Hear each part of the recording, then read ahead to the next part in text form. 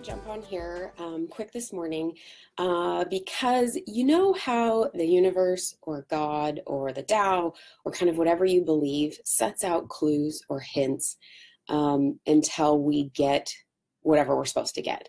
That became very apparent to me this morning, so I wanted to share that with you.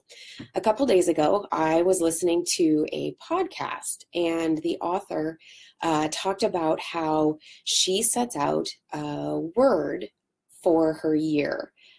She, I don't remember what word she chose for last year, but she said what the word was, and she gave these different examples of how that word manifested throughout her year. She also is choosing a word for this year, and she doesn't know how it's going to play out, but it sets the tone or the intention for her year. And she's found it really helpful. So, um, the other piece that happened was actually this morning in my uh, guided meditation. The uh, speaker was talking about setting an intention versus a resolution. What we tend to do at the beginning of the year is set a resolution. And the problem with that is that resolutions set us up um, to feel like failures, to not reach that goal. Whereas an intention sets the tone for the year that we want to have. So, putting that together with the idea of having a word for the year and then actually setting that intention, I was like, okay, apparently the universe is speaking to me and I need to set a word. So, my word for this year is courage. I don't know how that's going to play out, um, but I know it's going to. I know it's going to play out in my personal life with my friends and my family, um, and I know it's going to play out in my business life. So, I'm excited to see how it does play out.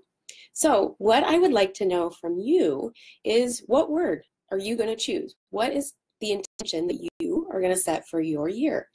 Um, leave me a comment, let me know. Uh, I can't wait to hear. The other piece that I would like to know is how you're going to remind yourself of that word. We are not very good at remembering when we are making a change. That's something I haven't quite figured out. I think it'll probably involve um, a reminder on my phone, maybe in my calendar, um, every week to point me back to my word of courage. It will probably involve something on my desk that uh, has the word courage, uh, definition, something. I don't know what it'll be, but uh, maybe you can give me some ideas of how you're going to implement that. So I can't wait to hear from you. Let me know your word, set an intention for the year. Let's make 2018 exactly what it's supposed to be.